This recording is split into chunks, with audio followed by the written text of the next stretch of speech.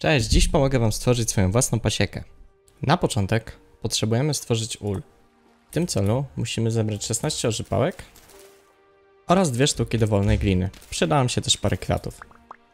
Ul wytwarzamy w sposób następujący. Ja zrobię na start dwa ule.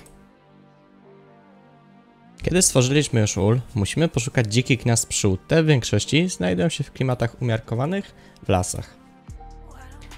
Aby je odnaleźć, polecam zwiększyć sobie w opcjach głośność dźwięków otoczenia jak najwyżej oraz chodzić po lasach i nasłuchiwać. Jest to jeden z najłatwiejszych sposobów na odnalezienie dzikich pszczół.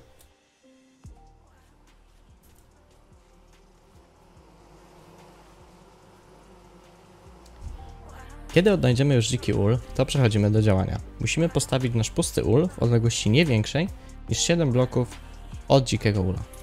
Jeżeli gniazdo jest wysoko, możemy to zrobić na przykład za pomocą płotu.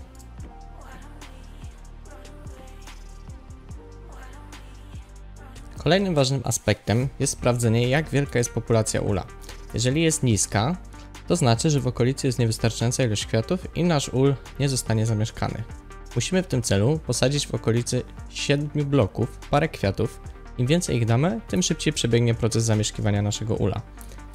Przykładowo, dla 100 kwiatów w okolicy 7 bloków proces zamieszkania ula trwa tylko 3 godziny czasu gry. Kiedy pszczoły zauważą kwiaty w okolicy, ich populacja powinna się zwiększyć oraz na ulu powinna pojawić się informacja, ile potrwa pszczołom zamieszkanie bądź wyrojenie naszego ula. Gotowy ul będziemy musieli przechowywać w slocie, w którym mamy nasze plecaki, więc będziemy zmuszeni zwolnić tyle miejsc, ile zamieszkanych uli chcemy ze sobą transportować. W moim przypadku były dwa, więc zwalniam dwa sloty z plecaków.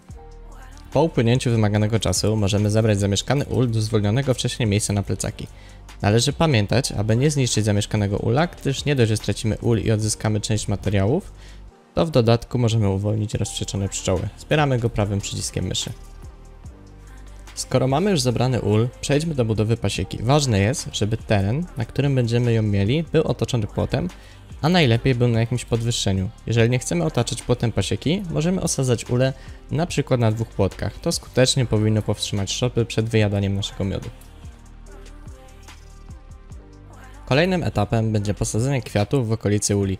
Nie ma znaczenia rodzaj, mogą to być jednakowe kwiaty, lecz ważne, aby posadzić ich jak najwięcej. Przyspieszy to proces zasiedlania uli, kiedy będziemy przeprowadzać miodobranie.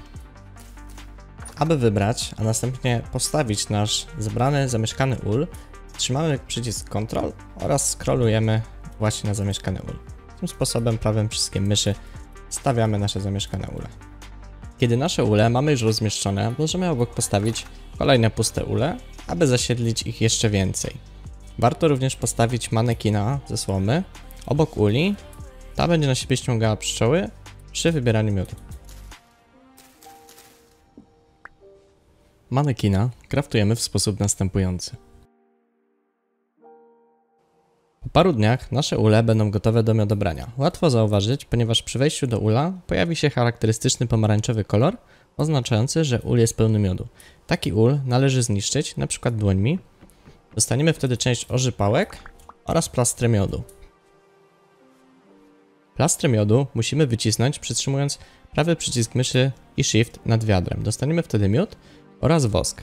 Woskiem możemy zalepiać garnki z jedzeniem lub możemy z niego wytwarzać świece na latarnię. Miód używany jest do produkcji dżemów, warto stworzyć sobie na niego osobną beczkę do przechowywania. Należy pamiętać, aby zawsze zostawiać minimum jeden zamieszkany ul, aby z niego pszczoły przyniosły się do innych. Jeżeli tego nie zrobimy, musimy powtarzać wcześniejszy proces z dzikim ulem.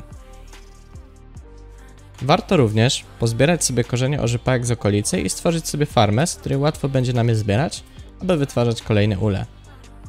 Tutaj podrzucam wam screena mojej pasieki, którą ostatnio stworzyłem.